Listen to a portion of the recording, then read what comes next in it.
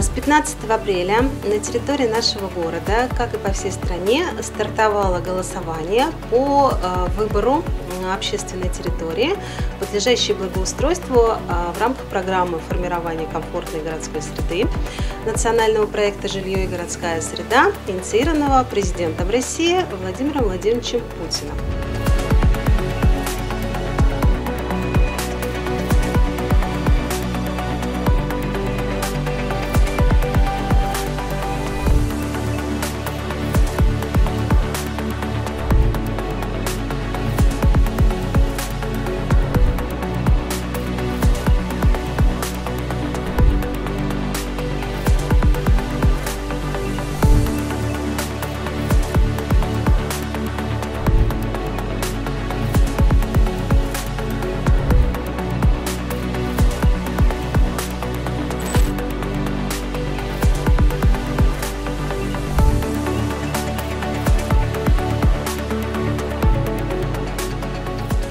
Проголосовать э, можно на платформе 12 «Город Среда», которая дает отсылку на госуслуги, либо через приложение волонтеров. Волонтеры будут работать в пяти точках.